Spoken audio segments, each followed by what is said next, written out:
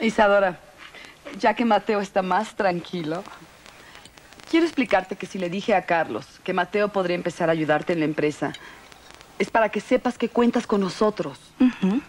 Bueno, cuando discutimos en la biblioteca, yo les dije que Carlos seguía siendo el director general de la empresa, ¿no?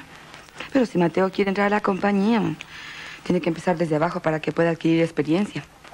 Pero ¿cómo crees que un villaseñor va a empezar desde abajo? Mateo es el hermano de Hernán.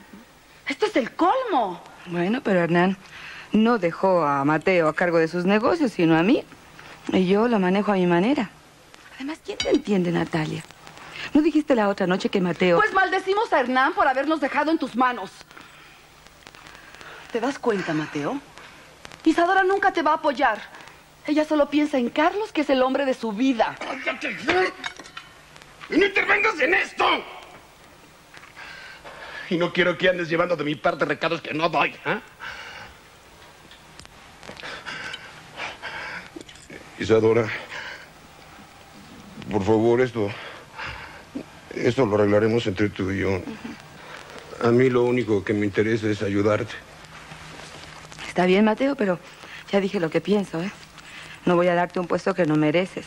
Tienes que esforzarte para ascender como cualquier empleado.